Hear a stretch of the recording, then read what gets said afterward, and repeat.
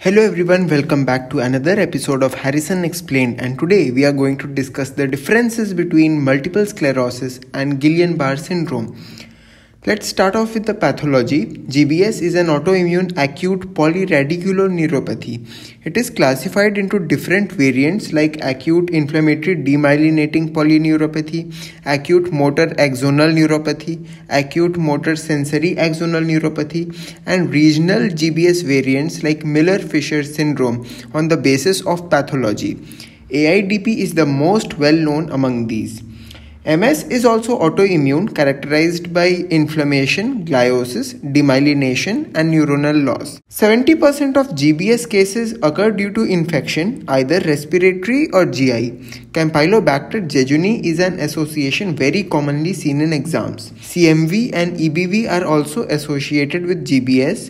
GBS will generally follow 1 to 3 weeks after an infection. The strongest susceptibility to MS is due to HLA-DR1 gene on the MHC. We have also discovered genes for IL-7 receptor, IL-2 receptor and, and LFA3 which also play a role. Moving on to the clinical manifestations, GBS involves rapidly evolving areflexic motor paralysis which is ascending in nature. You will also see tingling dysesthesias in the extremities as the paralysis progresses. The lower cranial nerves are involved and thus the patient will have problems in handling secretions and maintaining an open airway. Pain in the neck, back, shoulder, and spine is also seen in 50% of the patients. Bladder dysfunction is only transient, and a different diagnosis should be considered if present as a prominent sign at an early stage. Autonomic signs like BP fluctuations, postural hypotension and dysrhythmia will be seen. Sensory symptoms may be present or absent. MS can be insidious or abrupt onset. Symptoms can be severe or very trivial, where the patient may not even go to a doctor for checkup. You should check for sensory symptoms like paresthesias, which include tingling, prickling sensation, formications, pins and needle feeling, or painful burning. Hypesthesia is seen too, which includes reduced sensation, numbness, or a dead feeling. Pain is also seen. The next thing you should check for is optic neuritis, which is usually unilateral but may be bilateral. Periorbital pain will be present. The fundoscopic exam may be normal or show papillitis. Uveitis, however, is uncommon and suggests a different diagnosis like sarcoid. Weakness of limbs is another sign you should look for, and exercise induced weakness is characteristic of MS.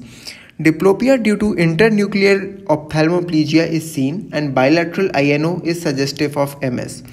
Some symptoms are present for a very brief duration and appear very frequently. They are called ancillary symptoms the most asked among these is Lhermitte sign, which is an electric shock-like sensation radiating to the spine upon flexion of the neck. Moving on to the lab investigation, CSF protein will be elevated in after 48 hour of onset of symptoms in GBS, but the lymphocytes will be normal. Sustained pleocytosis suggests a different diagnosis. A mononuclear pleocytosis will be seen in MS with increased IgG. PMNL or protein concentration above 100 gram per deciliter should point towards a different diagnosis. Diagnosis A clinical diagnosis is sufficient for GBS and treatment is started without waiting for confirmatory lab tests and electrodiagnostic tests. For MS, MRI can detect 95% of cases and you will see multifocal lesions in the brain, brainstem and spinal cord. Prognosis 85% of the patients are fully functionally recovered from GBS in a year, and the deaths are usually due to pulmonary complications. Patients with a favorable prognosis in MS develop few MRI lesions in the initial year and have less brain atrophy, and vice versa. Treatment options. Treatment should be started immediately in GBS once the diagnosis is reached. Plasmapheresis or high dose IVIG is given. IVIG is generally preferred due to a good safety record. For an acute attack of MS, we give methylprednisolone and if that is not effective, we move on to plasmapheresis.